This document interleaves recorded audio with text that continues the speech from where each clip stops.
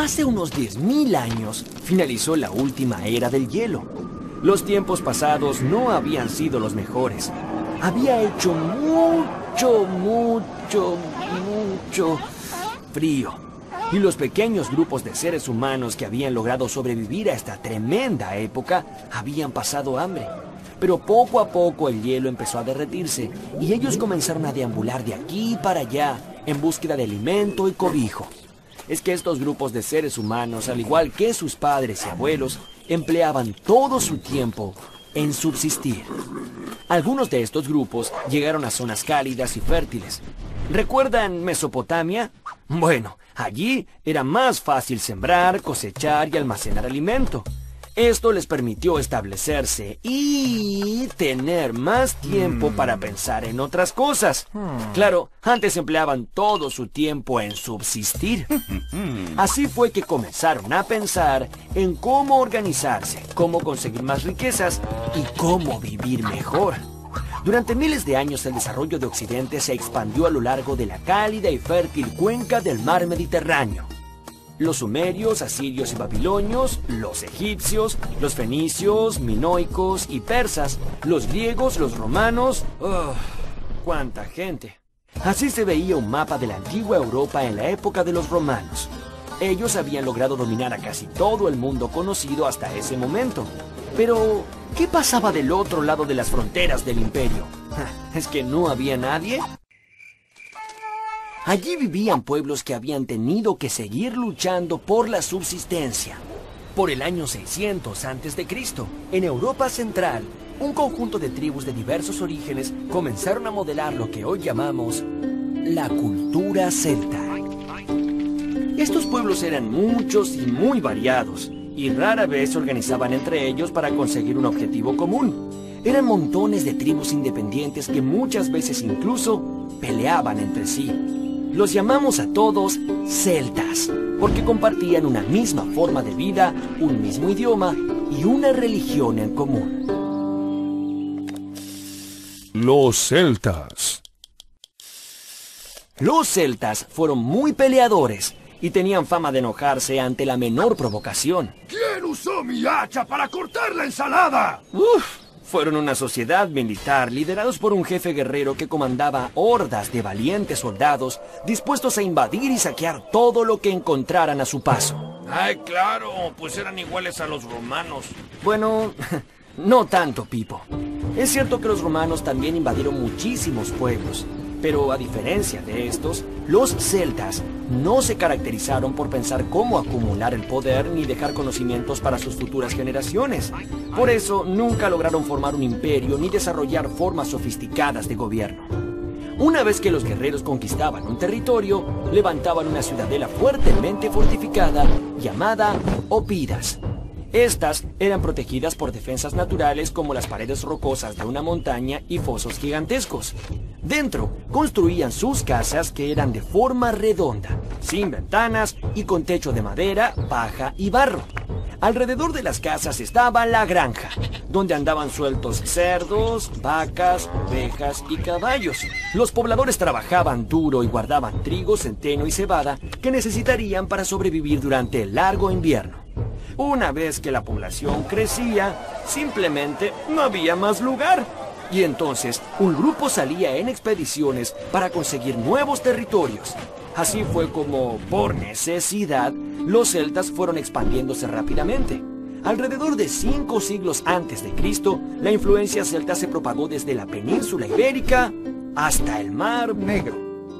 Tanto afán por la expansión hizo que algunas tribus celtas cruzaran los Alpes y tomaran tierras al norte de Italia.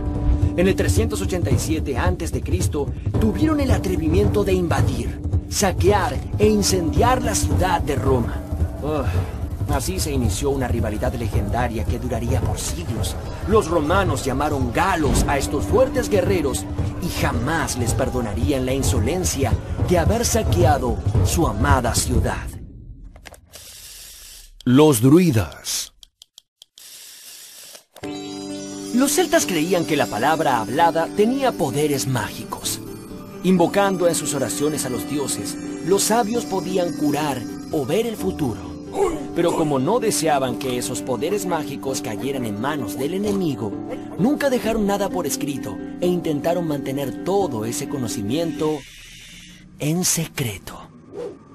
Cada tribu tenía su sabio, que ha sido pintado como un señor alto y flaco, con blancas y largas barbas, que vestía túnicas cruzadas por lazos de oro y que portaba varitas que ocultaban poderes mágicos. Estos sabios se llamaban druidas y eran tan importantes para los celtas que los jefes de las tribus siempre les pedían consejos antes de tomar una decisión. Los druidas conocían los poderes curativos de las plantas de los bosques. Con extractos de estas hierbas preparaban brebajes que servían tanto para curar como para infundir valor en la batalla. Dicen que con estas pócimas mágicas, los guerreros adquieren la fuerza de cientos o miles o millones. Los druidas de diferentes tribus se congregaban una vez al año dentro de los sagrados bosques de robles para celebrar una convención muy especial. Allí compartían sus hallazgos y conocimientos. Muchos enseñaban a los demás cómo fabricar brebajes mágicos y mostraban sus efectos. Era una verdadera convención de magos. Cada druida era acompañado por un joven discípulo. Este asistía a su maestro mientras aprendía pacientemente a lo largo de su vida los secretos misterios que guardaban los bosques. La guerra de las Galias. Las disputas entre celtas y romanos fueron permanentes. La verdad es que para las temibles legiones romanas, los combatientes galos eran muy molestos y le hacían muy difícil el trabajo de expandir el imperio. Hasta que a mediados del siglo I antes de Cristo llegó un poderoso general. No, no, no. Fotos y autógrafos luego. Este general fue Julio César y con él los galos fueron finalmente conquistados. Pero no crean que fue una tarea sencilla. Tuvieron que pasar más de siete años de constantes campañas militares antes que Vercingetorix, el último rey galo, cayera en manos de César. A lo largo de todo ese tiempo, unas 800 ciudades cayeron bajo el dominio romano y la cantidad de víctimas fue escalofriante. Se calculan alrededor de 3 millones de personas caídas en combate mientras que aproximadamente otro millón fue capturado y luego vendido en los mercados de esclavos.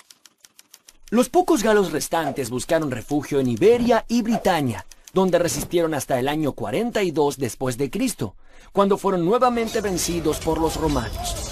Sin embargo, en la isla de Irlanda lograron permanecer hasta el siglo VII, cuando realizaron un último intento de expansión cruzando el mar hacia Caledonia, región que rebautizaron con el nombre de Escocia.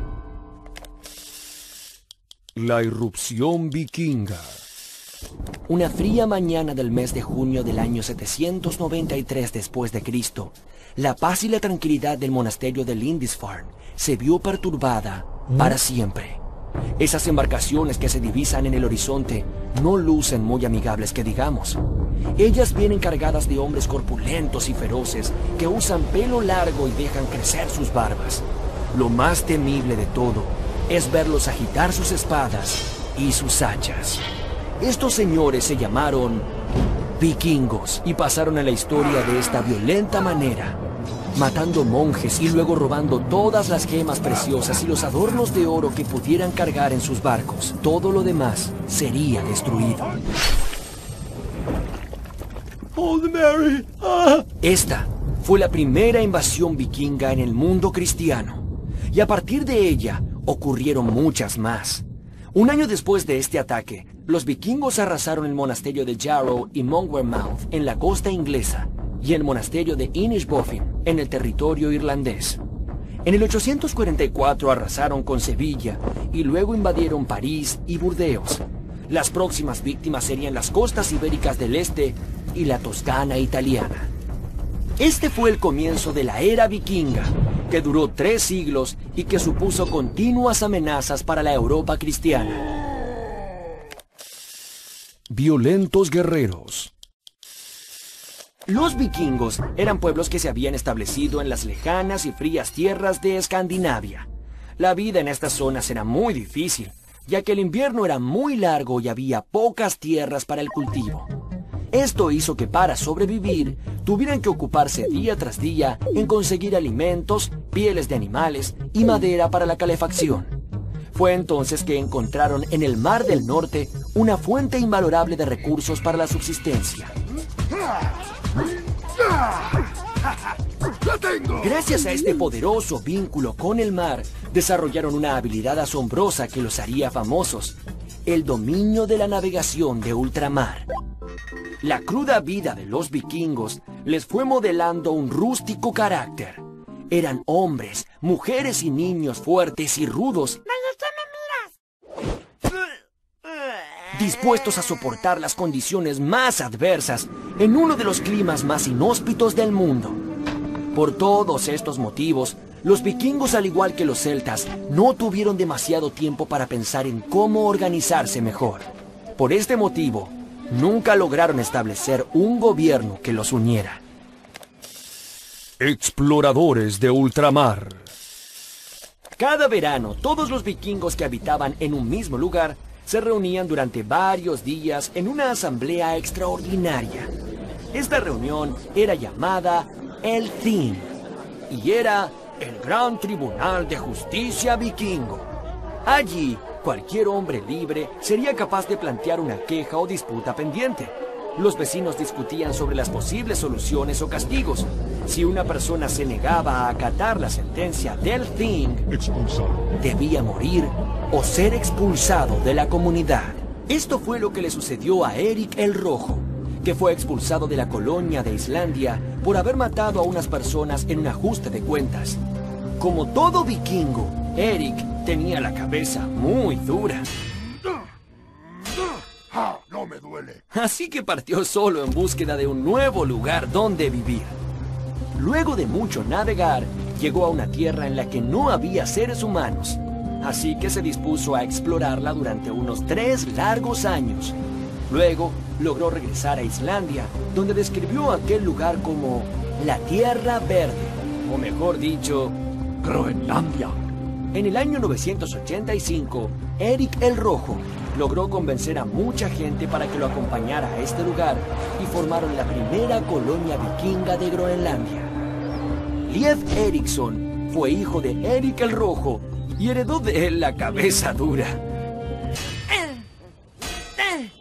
No me duele. La pasión por la aventura y la exploración de nuevos territorios. Lief se embarcó hacia el oeste hasta llegar a una tierra maravillosa con muchos árboles y sabrosas uvas. Por eso la llamó la Tierra de las Uvas o Vinlandia.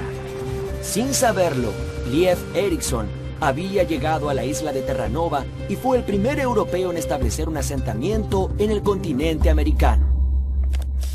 Ragnarok, la batalla final.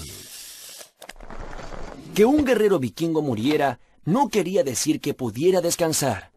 ¿Qué? ¡Ja! Todavía tienes muchas aventuras por delante. Mm. Cuando uno de los grandes guerreros moría, su cuerpo era depositado en una barca junto con sus mejores armas y su escudo. También eran depositados los cuerpos de su caballo y de su esclava luego de ser sacrificados en ceremonias paralelas. La barca era liberada de sus amarras e incendiada con antorchas, iniciando así su larga travesía a las huestes de Odín.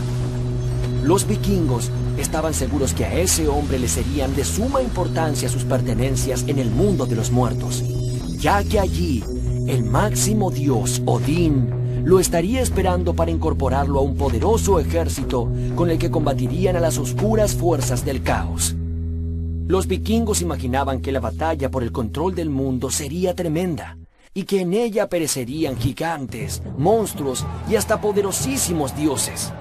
Según la leyenda, Los dioses benévolos estaban comandados por su jefe Odín y su hijo Thor, el dios del trueno. Ellos se enfrentaron de manera definitiva con las fuerzas del mal en la batalla final de Ragnarok.